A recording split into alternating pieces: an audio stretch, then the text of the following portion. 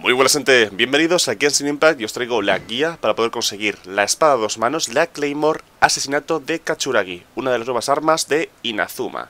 Es una forma muy fácil de conseguir, necesitamos tres llaves que vais a ver en este vídeo la localización y también tener desbloqueada la región de Tatarasuna.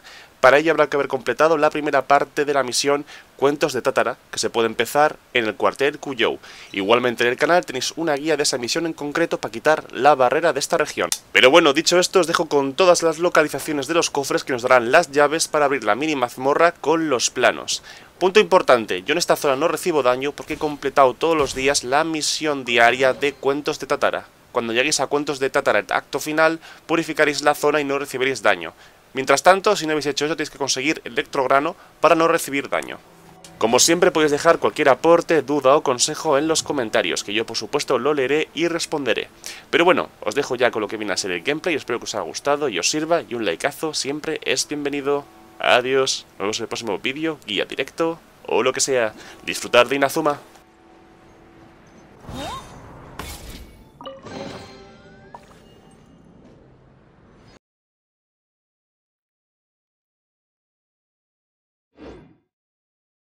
足元に気をつけて。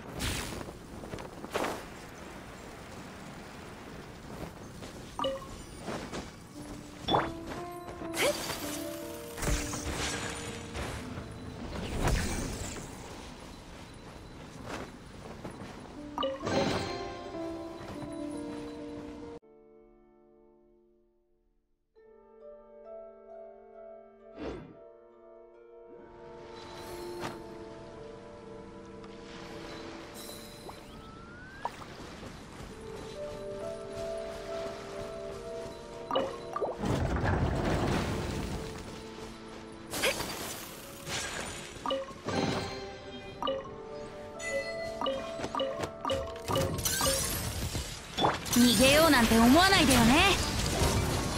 走る。桜かばき股間扇ふうたっ。